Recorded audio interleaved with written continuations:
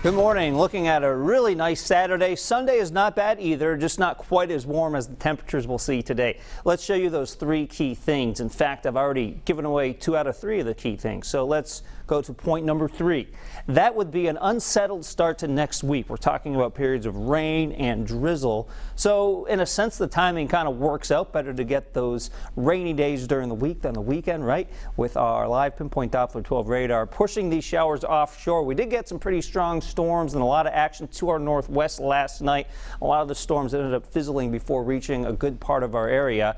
And as we check out skies over Providence, looking like a really nice start to Saturday here with blue skies. Now in North Scituate, we have a mix of clouds and sun, and that's kind of the theme as we check across southern New England for the rest of our cameras. This is Easton's Beach in Newport. Really pretty view. We have some clouds, but also some sunshine trying to peek out too. Temperatures right now running in the low 60s in some spots, so actually a fairly mild start to the morning. 61 North Kingstown, 61 Richmond, 61 in Narragansett. And our breezes coming in out of the northwest between around 5 and 10 miles an hour. 10 miles an hour for you in Smithfield, 8 in Providence, 5 in Newport, three in Westerly. Breezes on average around 5 to 15 today, a few gusts of around 20 miles an hour. And that's as this front continues to push offshore. You can see some dry air spilling in behind it. Doesn't mean it's completely sunny today, but I'd certainly say more sun than clouds when you average out the entirety of Saturday.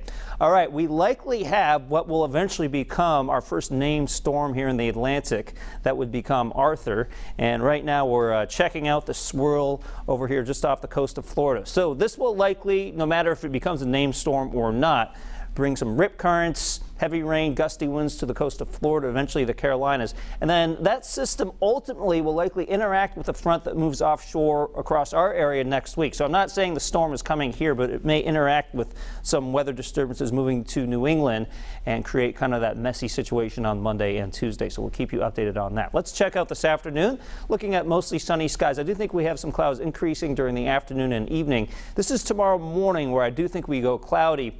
And then Sunday is not quite as sunny, despite the name of Sunday, as Saturday will be, although it's still not bad with some sunshine maybe poking through during the afternoon. Now, Sunday night, notice how clouds start to increase, and this will set up our weather pattern that I was talking about before of periods of drizzle and rain. So you can see uh, 1 a.m. on Monday when hopefully you're sleeping, the showers start to approach, and they will be with us at times on Monday.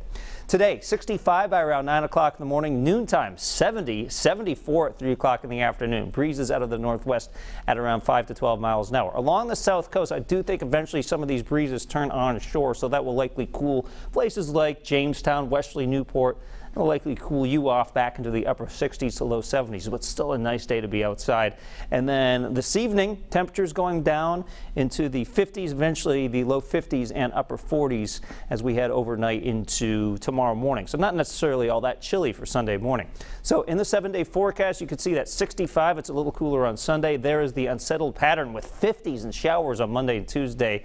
Things improve a little bit midweek and then some 70s maybe by the end of the week. You can always get an updated forecast on our website by downloading the WPRI 12 weather app. We have updates on that beautiful weather on the way today.